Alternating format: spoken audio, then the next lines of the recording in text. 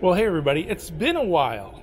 So, yeah, I just have not had time to post videos, but today just whipped up a quick pan pizza in a 12 inch Lodge cast iron skillet. So, we got some pizza dough, some sauce, some. Oh, we got some mushrooms, some sausage, some pepperoni, Italian seasoning.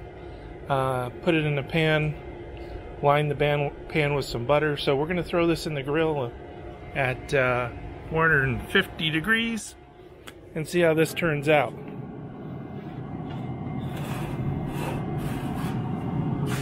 The grill is on. All right. We'll uh, give this about, uh, I don't know, maybe maybe 20 minutes and we'll come back and check on it, see how it's doing. All right, thanks for checking in. So, wood-fired cast iron pizza or a wood-fired hand pizza. We'll see how this turns out. Peace. Check back. All right. All right, we're checking in our pizza. It's been in there about 10 minutes. Looks like. Let's check the crust. Oh, yeah.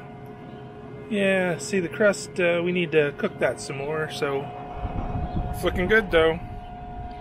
Got some spillage on the side. Boy, I think that's going to turn out okay. All right. Let's give it another 10 minutes and then we'll come back. All right, we'll check back soon. Okay, one more check in just to see how we're doing. Let's, uh,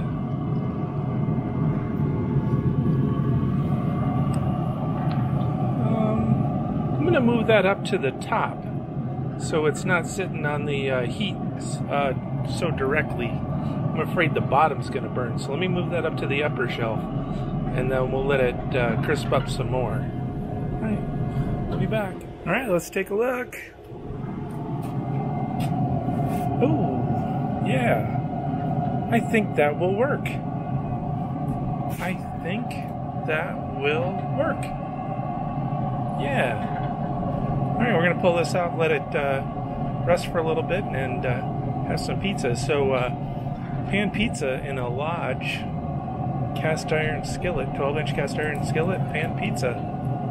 Deep dish pizza looking good. All right we'll post this up. Um, hit the like button hit the subscribe button and come back and check for more.